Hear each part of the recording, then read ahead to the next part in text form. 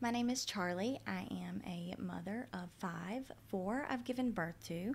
So I've been pregnant almost four years of my life. I've nursed almost nine years. So this body has taken a toll for sure. So I've decided that it is time to fix her up because I just want my body back. I had my first child when I was 16 and she divided my abs so they've never been able to go back together. Therefore, I'm going to have to have muscle repair. I'm going to have a full tummy tuck. And I'm also going to have a breast augmentation. And um, this is happening in just a few months. So I'm trying to just prepare for it. Um, there's a lot that goes into it to prepare mentally, physically, and um, I'm just thankful that my family is being very supportive through this and my friends. They understand, you know, what my body's been through and what I would like to see to make me happy. Um, so, again, I'm doing this for myself and not anyone else. So, if you're considering this, please watch this and see what the journey is like. Everyone is different, every healing time is going to be different. I've literally been doing so much research, stalking other people who've had this done. Uh, through TikTok and YouTube and any source I can. I'm already part of groups and Facebook to see their journeys and their struggles. So I'm just trying to really understand the full thing. It's not an instant bam, you know, it's going to be a lot. So, um, it's not going to be an easy journey, but I do want to document this and share this if you're thinking about going through this. I am 148 pounds right now, and I think I'm 5'4 could be off. I don't know. I'm kind of short, but, and I'm, you know, a little thicker for my frame than I normally am. So the first step was for me to really decide to do this and commit to it, and then also to find the right surgeon. So I found a doctor that's in Fairhope, Alabama. His name is Dr. James Kohler, and um, I set up a consultation and I was very nervous, even though, you know, I've been naked and revealed my body so many times within hospitals, uh, given birth, you know, everything is exposed at that time. Um, and my closest friend has always been my OB. Can introduce everybody to Dr. Nelson. She's gonna be okay with that? I have no idea. Does it? I'm the boss of today.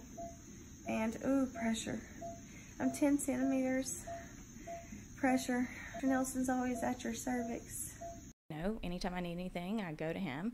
Um, so this is going to be nice to have a new relationship with the doctor. And so my husband and I went in to the consult, and I'm so sorry.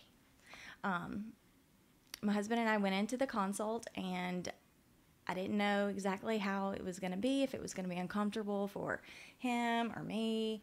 Um, but it was actually really nice. And so, you know, I they gave me a robe to put on. I revealed my body to him. He made me feel very, very comfortable and very professional. And he is more than just, oh, I want to be a D cup or whatever. It's about CCs. And so I'm like, I don't know what that means.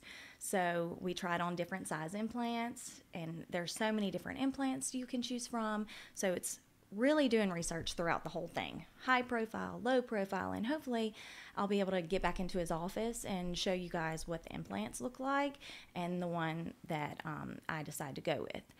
Um, now, he said that my breasts are like nice and that I don't have to have a lift. Um, it's just going to be the implants, but for more fullness, because again, you know, the sisters are coming over here and over here, and it's just, you know, I'm ready to be normal. So, um, and my tummy is taking a toll. Clearly, you know, I'm never going to be able to have that ab definition no matter how hard I worked out. I'm not currently working out that hard yet, but I intend to. Um, I'm trying to get my body ready now and take vitamins, which I'll share later with you what all I'm taking um, to prepare for this as well. Um, but yeah, so the doctor reviewed my body. We decided on lipo on the back, front, and then full tummy tuck again, muscle repair, and then that breast augmentation. So that is the game plan as of now. And so um, it was not uncomfortable for my husband either. He talked to both of us and uh, he stayed in the room with me. It was just very, very nice, beautiful office, very, very professional. So I'm really excited about that on the next video that I'm going to post. Um, I hope you guys follow if you, this is something you're interested in or you just want to see what it's like. Um, but I want to show you my current body and just tell you a little bit more about that. And then I'm going to document the whole entire thing um, as much as my surgeon, surgeon will allow. And um, so come along with me and let's get this done.